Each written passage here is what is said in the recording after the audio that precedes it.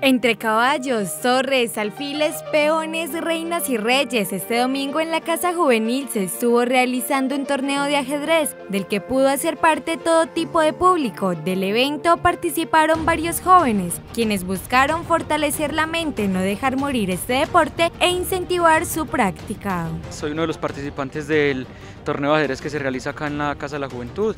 Este deporte me comenzó a llamar la atención por mi papá, quien desde que tenía 5 años me enseñó a jugar ajedrez.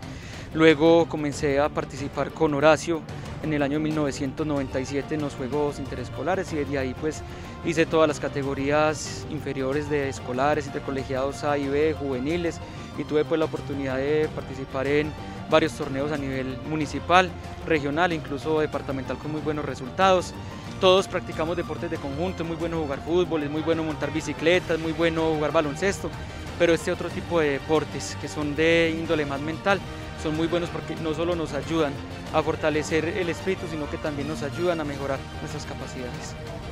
Es el primer torneo de ajedrez abierto para todo público en el municipio, el mismo que no busca exponentes de alto nivel. Cualquiera que quisiera y tuviera los conocimientos básicos podría ser parte. Esta actividad también tuvo como propósito promover la sana actividad, el arte y la cultura en nuestro municipio.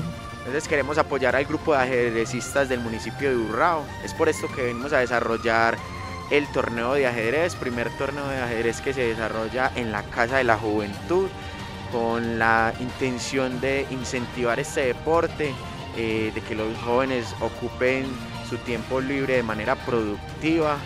La idea es seguir realizando torneos como estos en nuestro municipio y recordemos que este deporte ayuda a aumentar la memoria, la concentración, la creatividad y la lógica.